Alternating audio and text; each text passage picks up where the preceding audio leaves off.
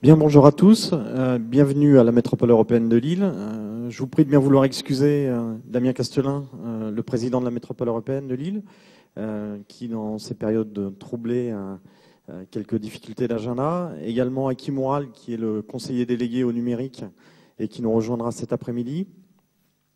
Donc, nous sommes très heureux d'accueillir les assises territoriales de l'identité numérique du citoyen, organisées par Ville Internet, l'association Ville Internet qui nous a proposé de faire partie du cycle euh, que Florence nous présentera. Euh, quelques mots pour, euh, pour vous dire comment nous on, situe ça. c'est un élément structurant de la modernisation des services publics.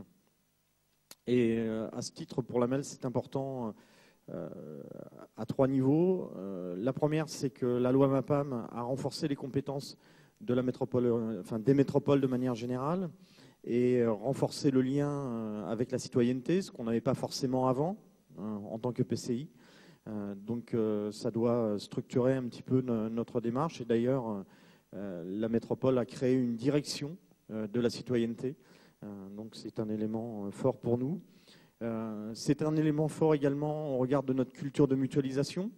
je le présenterai tout à l'heure on, met en place une logique de plateforme pour justement faciliter la mise en place de cette identité numérique, puisque la modernisation des services publics va s'appuyer fortement euh, sur l'identité numérique des citoyens. Tout ce qui est dématérialisation euh, va nous amener à être euh, un peu plus agile et à offrir des services sans couture aux citoyens.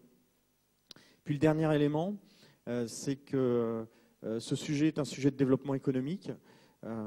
Et donc là, en tant que métropole French Tech, on se devait de participer à cette dynamique-là. Euh, et puis c'est particulièrement important pour nous puisque on héberge à Technologie euh, le cluster de la cybersécurité. Euh, et donc sur le long terme, ces sujets-là vont structurer et puis on aura aujourd'hui notamment deux startups qui seront représentées dans les échanges autour de cette thématique. Voilà, je vais repasser la parole à Florence.